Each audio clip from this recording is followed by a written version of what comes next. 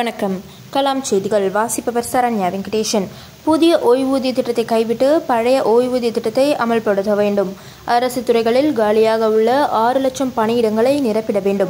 Corona காலத்தில் முடக்கப்பட்ட அகவிலைப்படி surrender வழங்க வேண்டும் போன்ற கோரிக்கைகளை வலியுறுத்தி தமிழ்நாடு அரசு ஊழியர் சங்கத்தின் சார்பாக மதுரை ராஜா முத்தையா மன்றத்திலிருந்து பேரணி சென்றனர்.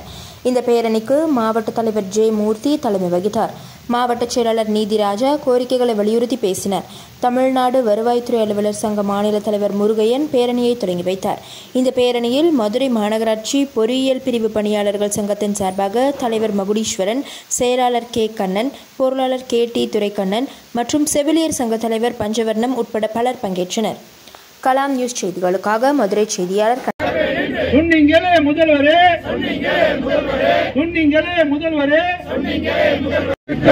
ரத்து செய் ரத்து செய். ரத்து செய் ரத்து செய். என்று கேட்டு பேரணி. என்று கேட்டு ஒன்றிய அரசு ஊழியர் போல். மாநில அரசு ஊழியர்களுக்கும்.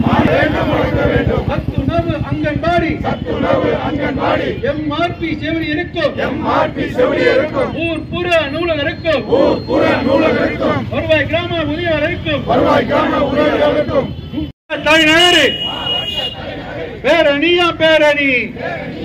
சிறக்கட்டும் சிறக்கட்டும். தமிழக அரசு தமிழக அரசு. தமிழக அரசு தமிழக அரசு.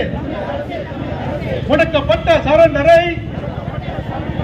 முடக்கப்பட்ட சரண்டரை விடுவிக்க வேண்டும் விடுவிக்க வேண்டும். விடுவிக்க வேண்டும். முறைப்படுத்த வேண்டும். என்று நேற்று போராட்டம். என்று கேட்டு போராட்டம். மாவட்ட தலைவர் போராட்டம். மாவட்ட தலைவர் போராட்டம். பேரணியா பேரணி. பேரணியாம் பேரணி. பேரணியா பேரணி. பேரணியாம் பேரணி. தமிழக அரசு தமிழக அரசு. தமிழக அரசு தமிழக சாலை நூத்தி பதினஞ்சு மூலம். அரசாணை நூத்தி பதினஞ்சு மூலம். அரசு துறைகளை பணியிடங்களை பணியிடங்களை நீக்காதே நீக்காதே. நீக்காதே நீக்காதே தமிழக அரசு தமிழக அரசு. தமிழக அரசு